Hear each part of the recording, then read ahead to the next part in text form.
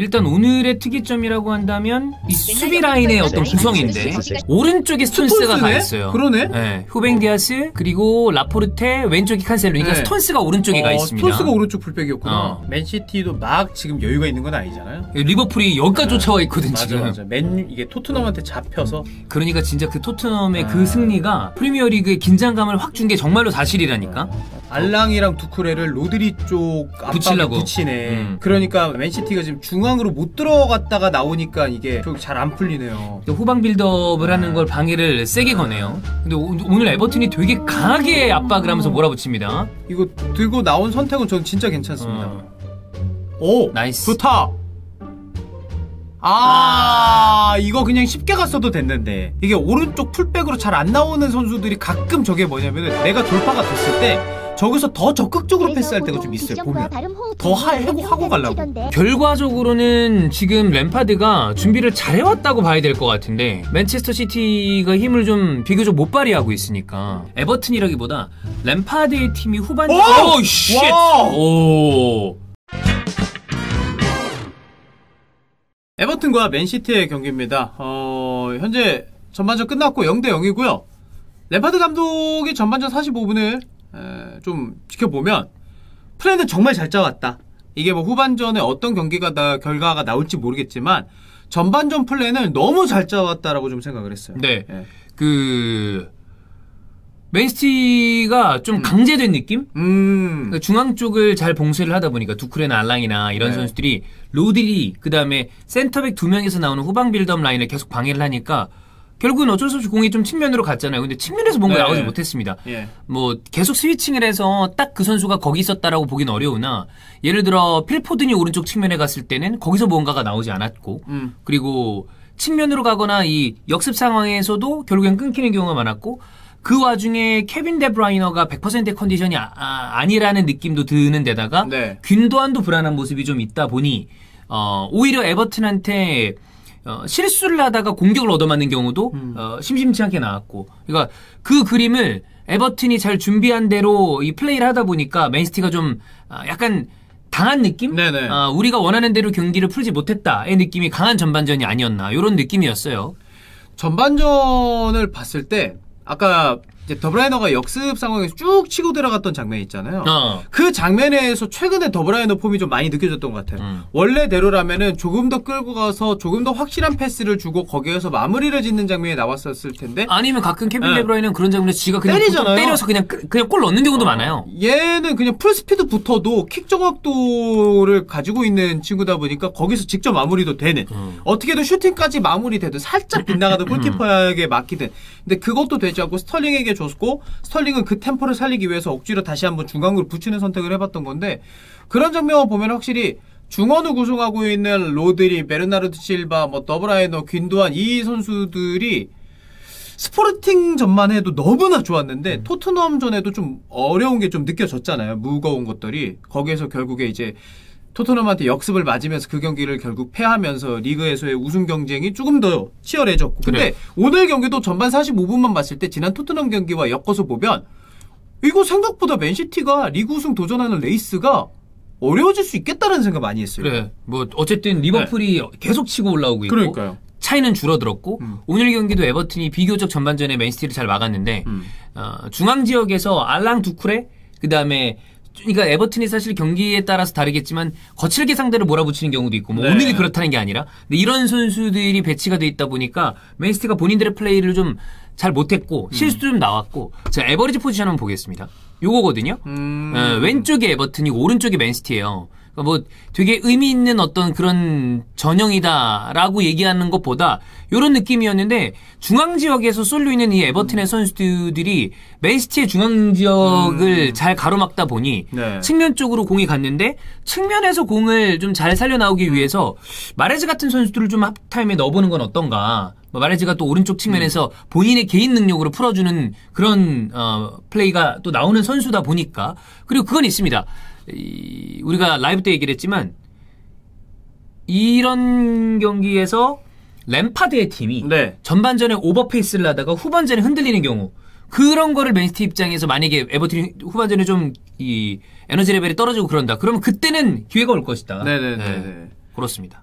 이게 제가 중미 애들만 이야기를 했는데 아까 average position 보니까 생각이 난 게 로드리가 전진해서 공을 점유해주지 못하니까 결국에 그러면 안정감이 좀 떨어지는 상황이잖아요. 주앙 칸셀로와 스톤스가 거기서 전진을 못하네요. 그 average position이 저는 주앙 칸셀로나 스톤스나 둘 중 하나는 적어도 하프라인을 넘어서 average position이 잡힐 거라고 생각을 했는데 지금 보니까 둘 다 하프라인 밑에 잡혀 있는 거 봐서는 로드리 쪽이 묶이면서 전체적으로 측면에서도 이게 밸런스가 전방 측면 공격수들과 연계도 이루어지지 않고 있다. 음. 전반전 굉장히 어려웠던 경기네요, 이거 맨시티. 네. 예.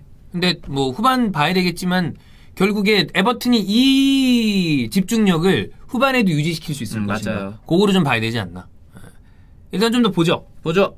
자, 후반전 시작했습니다. 뭐, 펩이 사실 합타임에 교체 카드를 쓰는 감독은 아니기 때문에 어느 타이밍에 뭘 어떤 식으로 바꿀지를 봐야 되는데. 아, 그러니까 좀 나아지긴 해요. 한셀로 돌고 잘 접었다. 아, 픽파드. 오. 야, 두 경기에서 이거 무승부면 승점 5점 drop이에요. 그지? 야, 큰데. 덕배? 와. 어, 야, good ball? 와! 뭐야, 픽포드. 와. 어, 야, 이거 진짜 깰 만한 흐름이었는데 이걸 그러니까. 다 막네. 오호, 이거 진짜 둘 다 너무 잘 막았다. 음. 어, 뭐야? 와!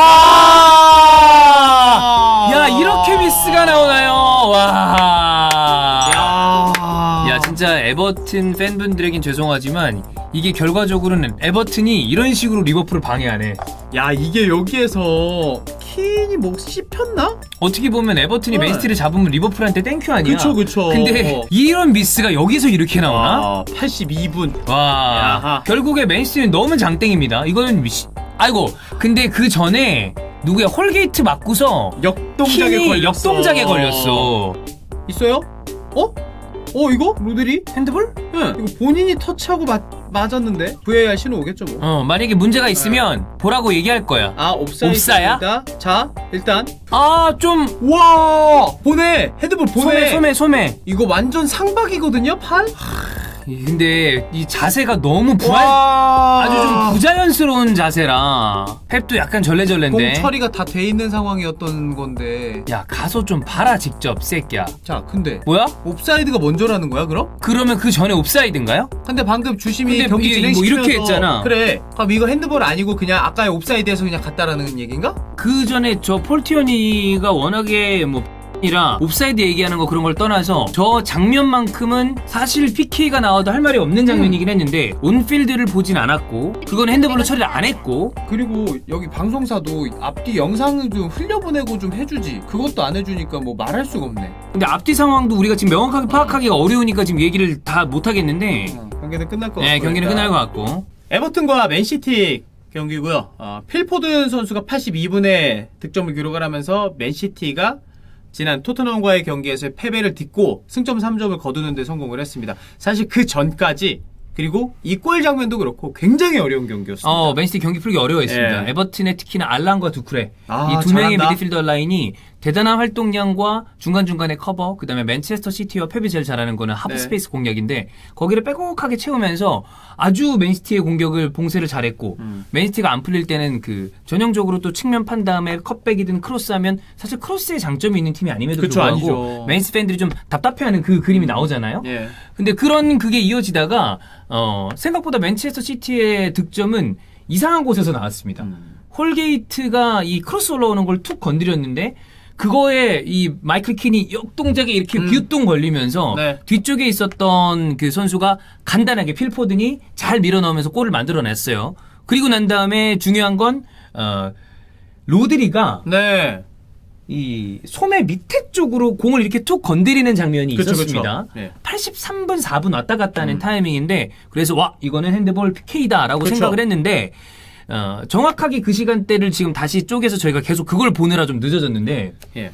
어, 그게 있었잖아요. 뭐- 그전 장면에서 히샬리송에게 침투 패스 들어가는 장면이 예, 있었고 예, 예. 네. 그리고 난 다음에 폴 티어니가 음. 옵사이드 이 제스처를 취합니다. 음. 그런데 그리고 나서 이 화면이 VAR 판독하는 장면으로 바뀌고 거기서는 핸드볼 화면만 어, 나왔죠? 예. checking possible penalty handball 이걸로 나왔어요. 음, 그래서 음. 야 이거를 이거를 이 핸드볼을 넘어가나 봤는데 만약에 네. 아, 우리가 다시 이걸로 돌려봤을 때 지속적으로 폴 티어니의 제스, 이 제스처는 옵사이드와 관련된 거고 어 히샬리송으로 가는 침투 패스는 동일선상과 그 어딘가로 보여요. 근데 거기가 다시 리플레이로 나오지 않았기 때문에 그 개인적으로는 뭐그 화면 때문에 그럴 수 있겠지만 그 전에 히샬리송으로 들어가는 그 패스는 음. 옵사이드가 걸릴 만한 패스였던 것 같아요. 그러니까 옵사이드였는지 아니었는지 우리가 그 화면을 지금 본건 아니지만 맞아요. 음. 옵사이드 판정에 대한 거는 저는 개인적으로 그거는 무조건 비디오 판독실에서 보는 게 맞다고 보고 그거라면 뒤쪽에 핸드볼과 관련된 거는 이제 상황이 없는 거니까. 네. 다만